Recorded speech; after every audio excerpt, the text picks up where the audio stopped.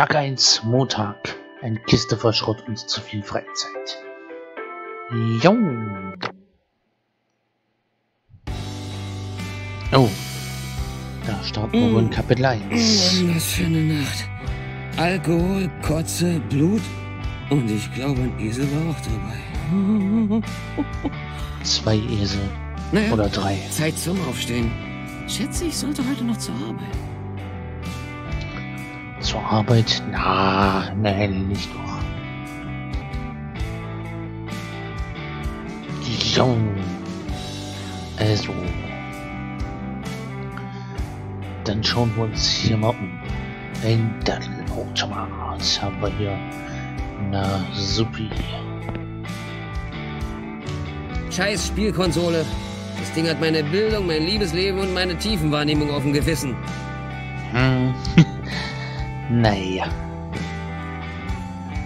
Das ist irgendwie absurd. Ja, wieso nicht? Mit Konsole reden.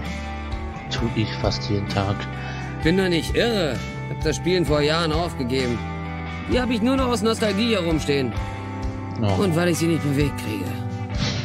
ja. Schachtel voll Krams. Hier, ist euch mal aufgefallen, was das dort in der Mitte ist? Ich verrat's euch nicht. Ich sag euch jetzt mal nicht, was das da in der Mitte ist. Wer es nicht weiß, ist selbst schuld. Ich hoffe, ihr wisst, was das ist. Hm. Ein Teil aus einem sehr guten Film. Hm. Ja.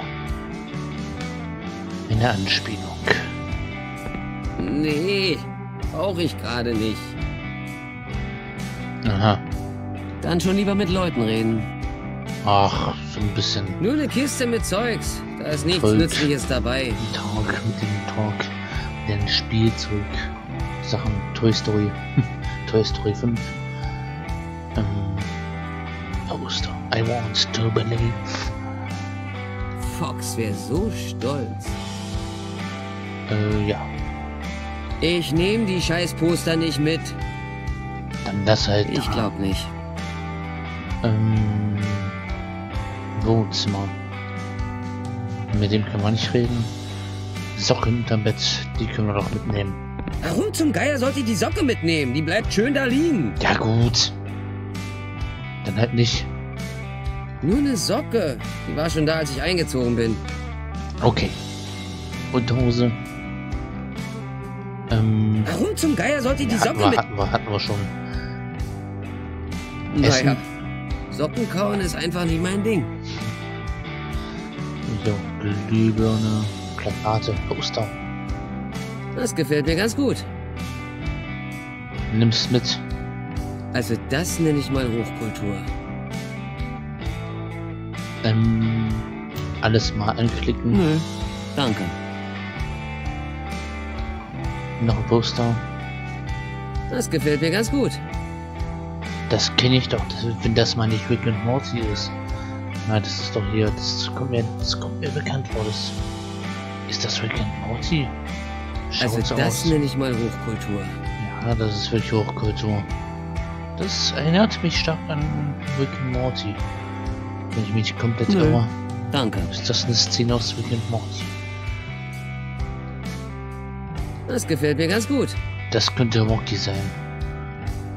Nö, danke.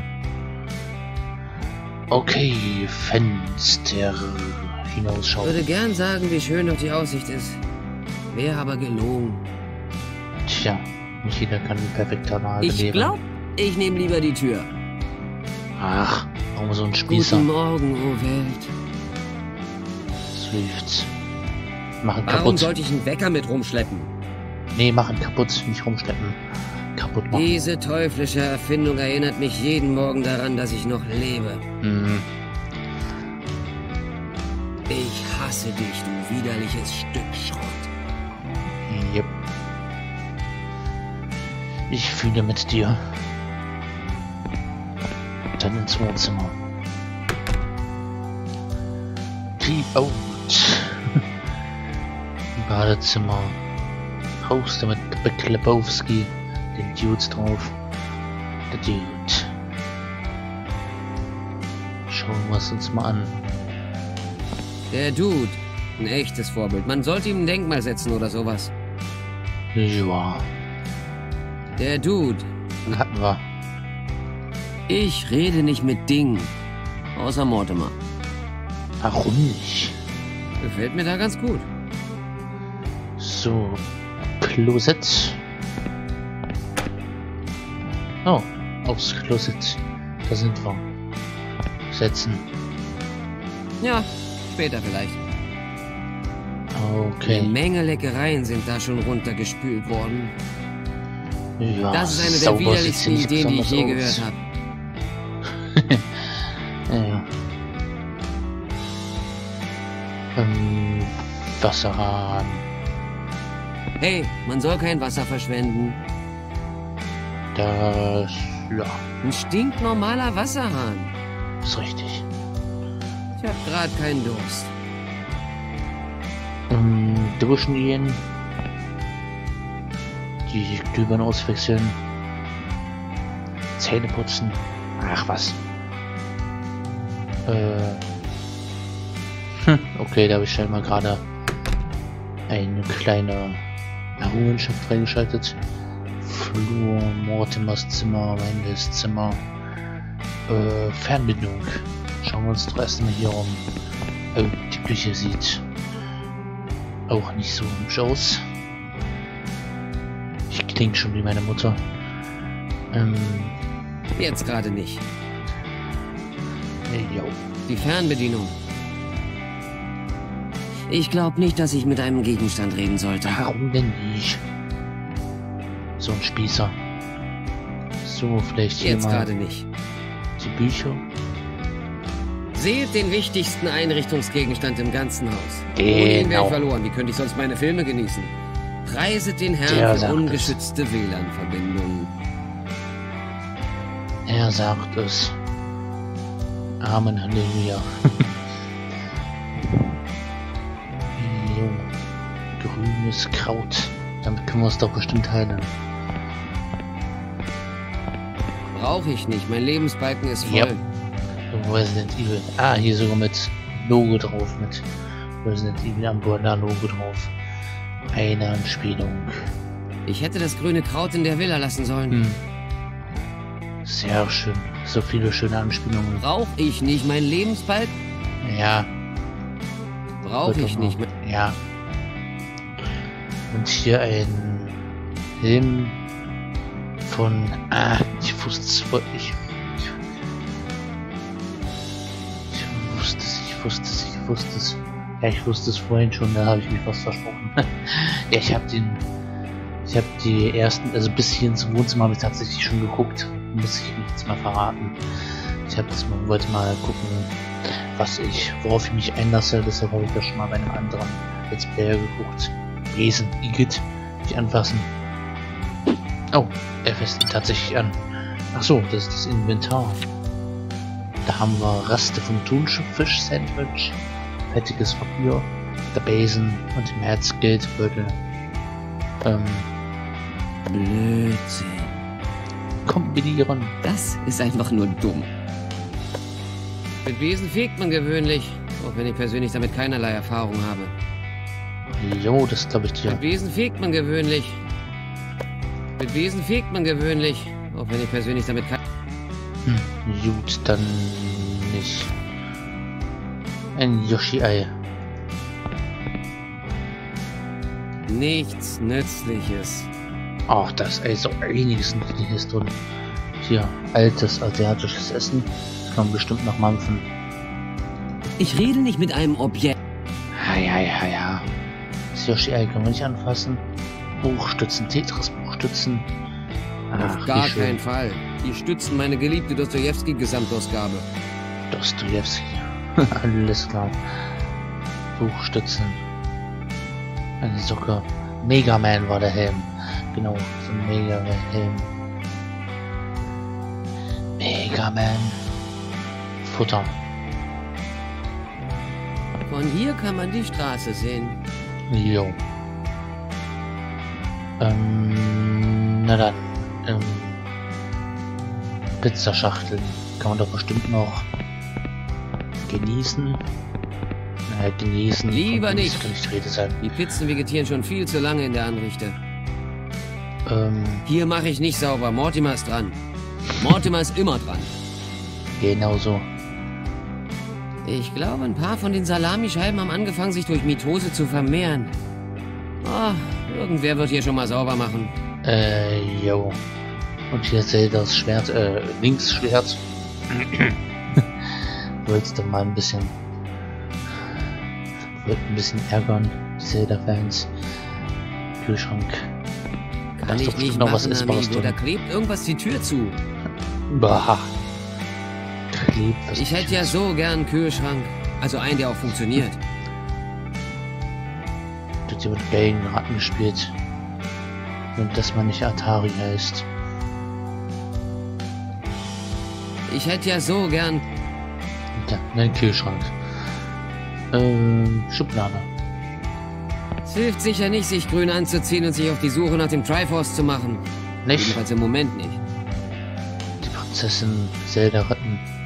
Von unserer letzten Halloween-Party. Hm. Ach, das ist ja ein komplettes Kostüm. Ich rede nicht mit einem... O Ja. Hab ich jetzt erst gesehen. Den Bumerang.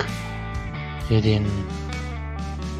Die Heldenuniform und den Gürtel. Sehr schön. Zeitung. Neueste Nachrichten. Today's News Today. Today's News Today, also. naja, Today's. Okay. The Sun Dry Tips. Kam wohl gestern. Sun Dry. Choose life, choose a job, choose a. ja. Äh, ja, wäre mal nicht schlecht. Ähm, schließen. Weg damit. So, ähm, Mortimers Zimmer. Geh Siebter ich nicht näher ran. Könnte mich ja irgendwas angreifen. Dann bleib halt weg.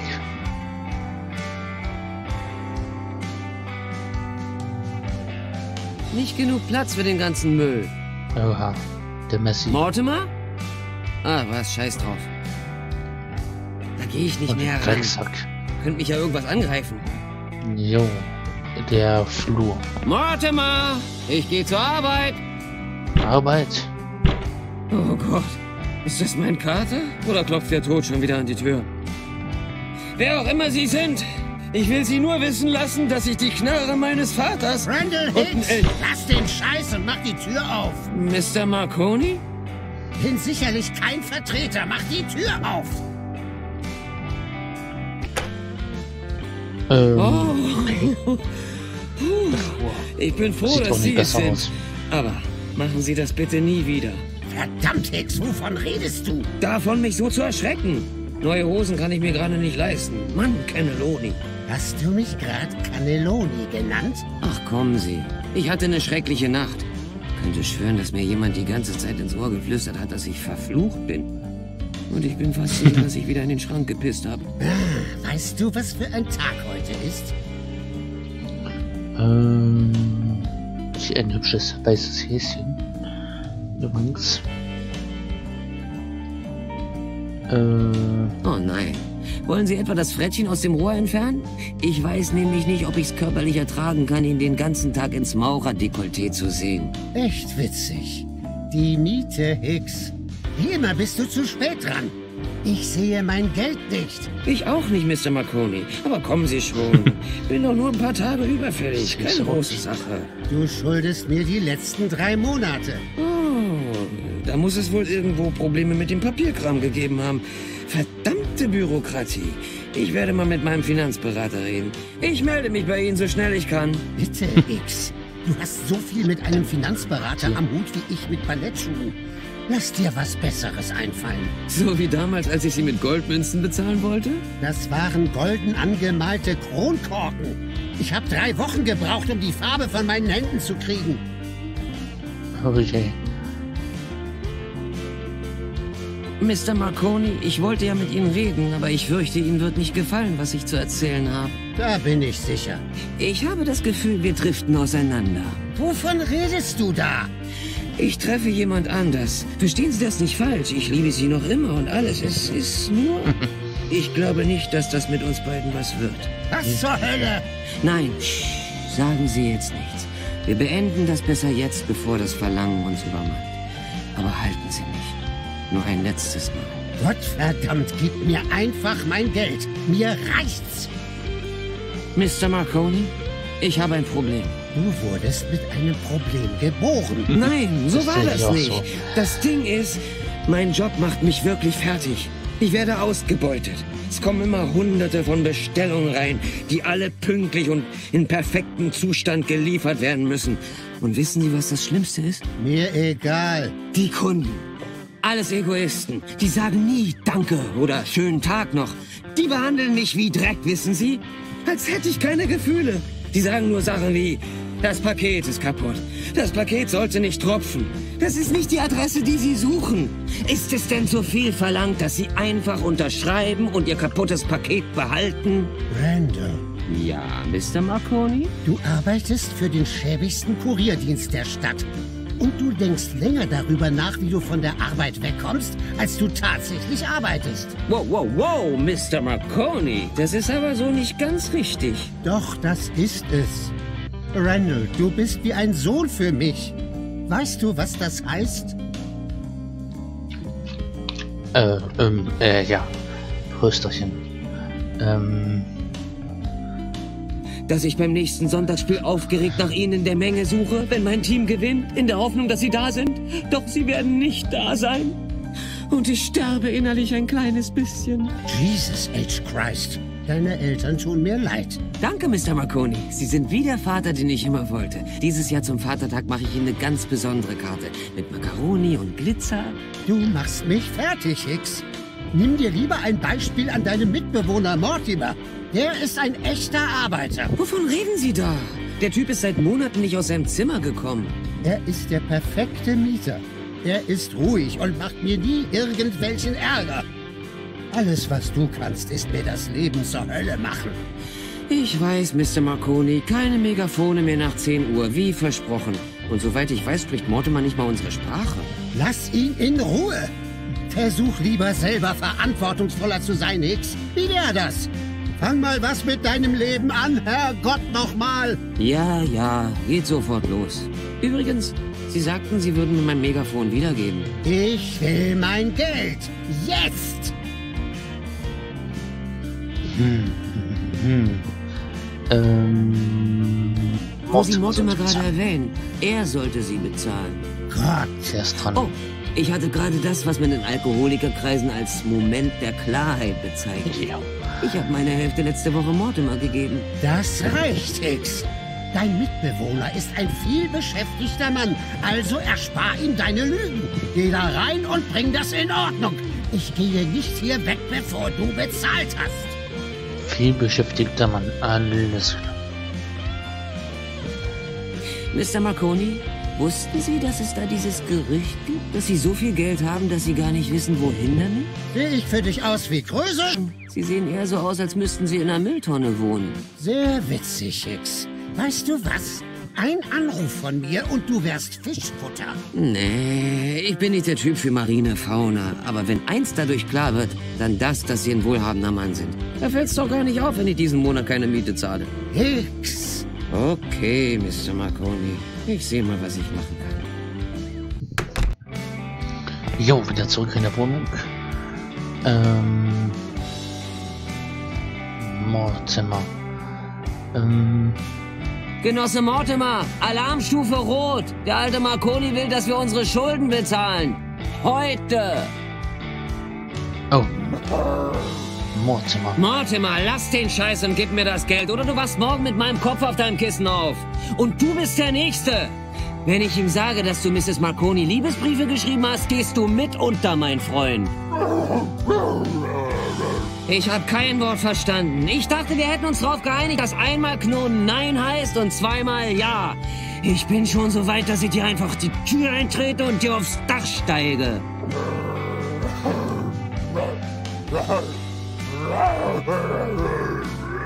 Warte mal, dreimal Gnom? Alter, die Ansage war zwei heißt ja, Eins heißt nein. Aber drei? Was soll das? Ähm, jo. Übrigens, ich habe ihn Cannelloni genannt und mich über seine Körperhygiene lustig gemacht. Viel Spaß! Naja, ich könnte zur Arbeit gehen und nach einer Gehaltserhöhung fragen. Aber ich fürchte, vorher muss ich noch einen Weg hier rausfinden. Ich will mich nicht nochmal mit Marconi und der Ader auf seiner Stirn anlegen. Zusammen machen die mich fertig.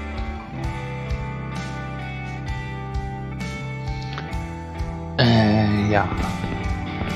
Haben wir ja eigentlich schon das abgesucht. In unserem Zimmer. Ja, waren wir eigentlich auch schon. Feuertreppe. Oh, die Feuerleiter, hm? Ja, gute Idee. Ich mag diesen metallischen Klang. Da fühle ich mich sicher. Oh je. Das klingt aber nicht hübsch. Was zur Hölle war das? Kam das von der Feuerleiter? Vielleicht sollten wir nochmal darüber nachdenken. Ah, so Und- furchteinflößend wie Marconis haarige Ader ist es noch lange nicht, würde ich wetten.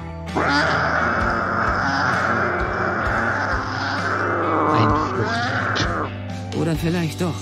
Also dem Klang nach ist ein Scheißmonster in der Gasse.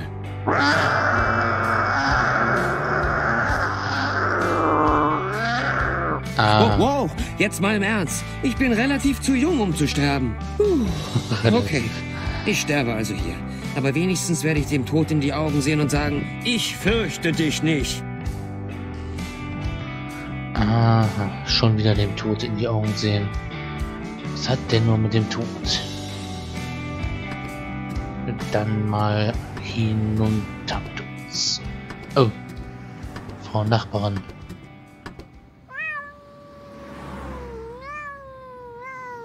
Oh, Äh. all das wegen einer dämlichen, dreckigen Katze. Entgegen. Naja, schon irgendwie peinlich. Immerhin hat's keiner gesehen, außer der Katze. Und natürlich Mrs. Grozer.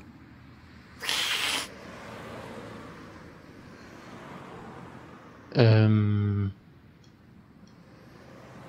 Hallo? Hallo, Mrs. Grozer. Wie läuft's? Und wie geht es Mr. Grozer? Ist seine Hüfte schon wieder in Ordnung? Das mit dem Rollschuhvorfall, das tut mir aufrichtig leid. Ich hätte wissen sollen, dass ihn die Treppe runterschubsen keine gute Idee war. Normalerweise erzähle ich den Leuten einfach, dass es Mortimer war. Mrs. Grozer, kann ich reinkommen? Ich muss runter zur Straße, aber durch meine Tür kann ich gerade nicht. Können Sie mich hören? Verdammt! Sind Sie taub oder ausgestopft? Ah, ich muss mich wohl einfach der blöden Katze stellen. Hm. Mrs. Grocer findet mein Abenteuer richtig aufregend. Sie blinzelt nicht mal.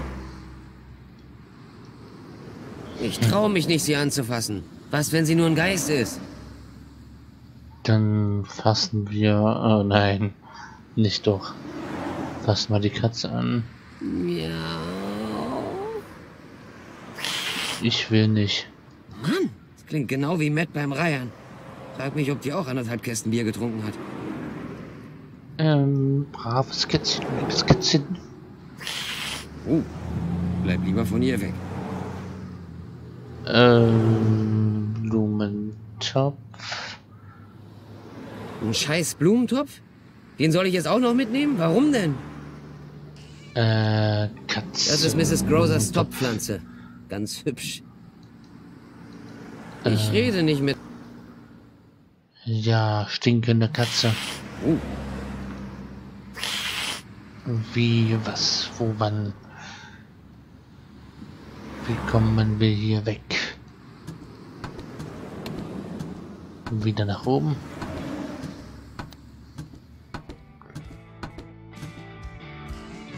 Ja, ist nicht so die Lösung.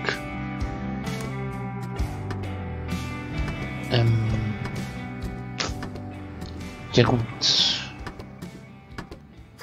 Da hängt ein Controller. Haken. ich muss die Leiter losmachen, aber ich komme nicht an diesen scheiß Haken ran. Hm. Kopfkarts. Ich komme nicht ran. Tja, ähm, Nein. nicht mitreden. Nicht Ich muss die Leiter bitten, losmachen, aber ich komme nicht an diesen scheiß Haken ran. Nicht den Haken darum bitten, dass er lose wird. Ähm, Inventar. Ähm, Besen.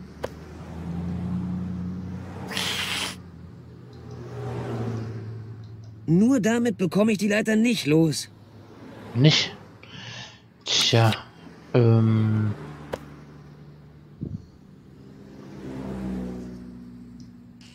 Blödsinn. Hm. Viel mehr haben wir nicht im Inventar. Mit Besen fegt man gewöhnlich. Ja, Mit komm, Besen fegt man gewöhnlich. Auch wenn ich persönlich damit keinerlei Erfahrung habe. Ähm, hier vielleicht? Mit Besen fegt man gewöhnlich. Ja, gut. Ähm, da Besen, da Dings, da. Katze? Ich will keinen Streit anfangen. Dieses Tier sieht gefährlich aus. Ja, schubst doch. Dann ist es schneller unten, als da Katze sagen kannst. Ähm, ja, scheint so, als bräuchten wir hier noch irgendwas. Den Müllsack können wir den mitnehmen.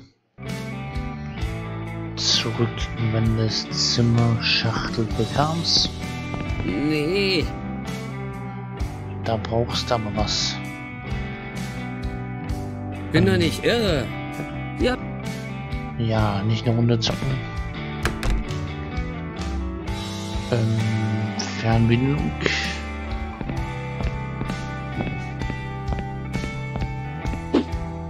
Oh, eine Fernbedienung.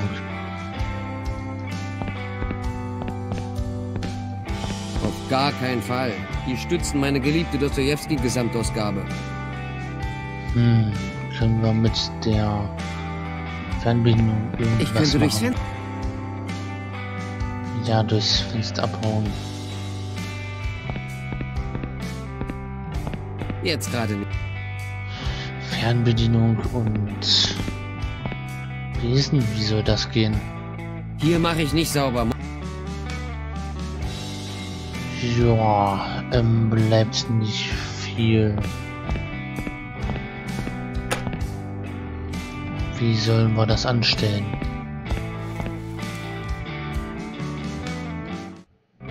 Socken können wir die jetzt mitnehmen? Warum zum Geier soll... Ja, hätte ja sein können. Hm, also. Vielleicht können wir sie mit der Fernbedienung steuern. Äh, ich weiß ja nicht. Warum? Hätte sein können, ist ja, ist ja eine Möglichkeit, kann ja. Nee, Hm. nee. Mit Besen fegt man gewöhnlich. Tja, ähm. Wenn du das für eine gute... Das gebe ich nicht weg. Tja, also. Das ist der Geldbeutel von meinem besten Freund. Den sollte ich zurückgeben. Oder ihn auf die Katze werfen? Das behalte ich lieber. Ach, Mann. Ähm. Wenn du das für eine gute Idee hältst, wie wär's mal mit einer Pause vom Spiel? Das wäre eine gute Idee. Da, wo er es gerade sagt, wo er es schon sagt, ähm, die mache ich gerade mal. Ähm, wir sind wohl schon ein bisschen weiter gekommen. Ähm, ich weiß jetzt gerade nicht, wie lang der Part ist, aber den beende ich an dieser Stelle. Ja. Bis dann, ciao, oder was?